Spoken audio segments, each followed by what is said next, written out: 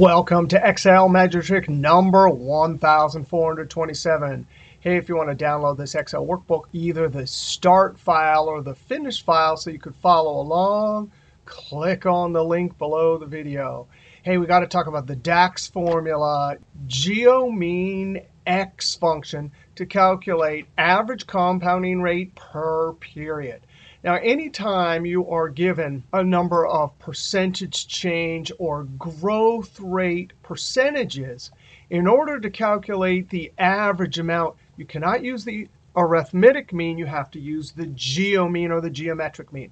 Now, I have two videos over here. If you don't know why we have to use geometric mean and why it's so important in finance and other fields, I have this business analytics video and this statistical analysis video from my classes at Highline that explain in great detail how awesome knowing how to use geometric mean is. Now, here are the two formulas. The point in this video is simply to see how to do it in DAX. Now, if we scroll down, we can see we have one, two tables. This table has the year of the actual percentage change, and then the particular investment. So for Fund A, we invested in 2004 all the way to the current year 2008. And these are all the percentage changes in the investment. For, let's see, that's Fund A. For B, all of these right here. There's the year. There's the percentage change. We also have a second table that lists the name of the investment and the initial investment. Now, I've already started the pivot table and added both of these tables to the data model. So let's go look. Power Pivot, Data Model. F investments, here are the three columns, and F start investments. If we go over to diagram view, I have this other table here with some calculations. They're hidden for the time being, but at the end of the video, I'll show where you can go look at those if you want. But our particular task is to add a number of measures that will calculate the averaging compound rate, the number of years for each investment, when the investment started, and the current value. Now let's go back over to data view over here to F investments. Now, our first calculation is going to be, and I'm going to start typing. It shoots me up to the formula bar. Average compounding rate in parentheses geomean colon equal sign. And we'll just use the geomean. Now, there's a geomean that if you had a column with the rate of changes plus 1, you could just use that. But we need to iterate over that column and do a calculation. So we're going to use geomean x tab. Geomean x, we need our table. The name of our table is FI, down arrow to F investments, comma. The expression, well, we need our column, FI, and I need to down arrow to percentage change growth rates. Now, in order to calculate the geomean, you can't just use the percentage. You have to use plus 1. In essence, that's the original principal plus whatever the rate of change was. And that's our expression. If we close parentheses, this will give us the growth factor. If we hit Enter and go over to our pivot table, Alt-Tab, average compounding rate down here, when we add 1, that's the actual amount that we can multiply by the start amount to give us the ending amount if we raise it to the correct number of periods. Now, in the pivot table report, I actually do not want 1 plus. I want to show the actual average compounding rate. So I'm going to Alt-Tab, simply click on the cell, and we subtract 1.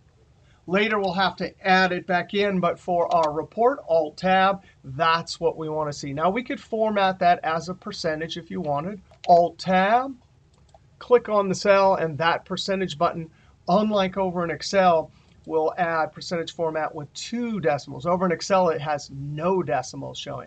Alt-Tab, and there are our formatted average compounding rates. Now, at the end, we're going to amend our formulas to get rid of the grand totals. But for right now, we will leave it like that. Now, if we think about how DAX made this calculation, right, that bond fund C, well, there's our investment table with our initial investments. That filter right there properly is from the start investment table, dragged down to rows.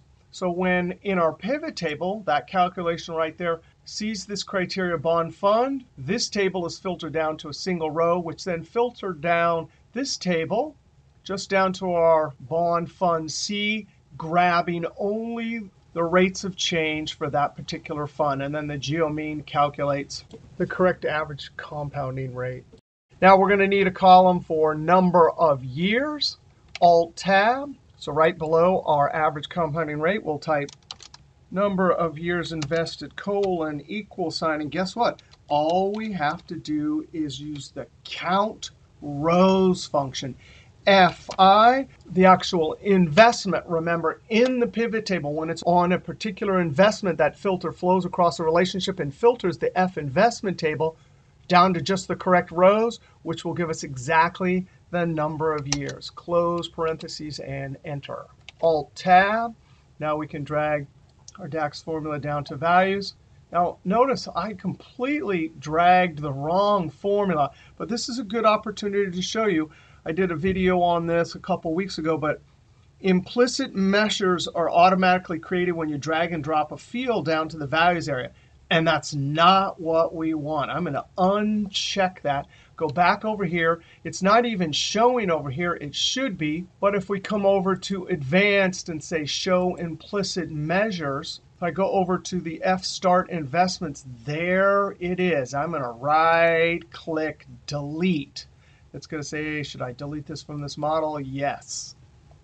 So mistakes are good if we can learn from them. So implicit measures, if you accidentally drag a field, there will be an extra hidden measure over there. And if you want to get rid of it, you have to show implicit measures and then delete. Here's the correct DAX formula. I drag it down here, and there are the number of years. Alt-Tab, our next calculation is the start year. Start year, colon, equal sign. And guess what? I can look through the year column using the min function. Fi and I want to go down to, luckily they have icons here. That's a measure. This is a column. Investment year tab. Close parentheses and enter. Alt tab. And we can drag our start year over to values. There's the start year. Our last calculation is going to be the current value. Again, this video, these videos up here show you, here's the basic formula for calculating future value. We're going to use that formula. Alt-Tab. Click down below Start Year. Current value colon equal sign. Now, I would like to do FS and then the start column for investment amount, initial investment. But you cannot put a naked column into a DAX measure. Now, remember, that table only has one value for each investment. So I have to use some aggregate function I'm going to use the sum function. Now when I do fs, I can see that I have the option of columns now, not just a table. It's initial investment, tab, close parentheses. So we're using sum just to get at that column. The filter context obviously will filter down to a single row, and we'll get the investment, the initial investment for each fund. Now we multiply it in parentheses 1 plus the average compounding rate per period. That is a measure, so I type a square bracket.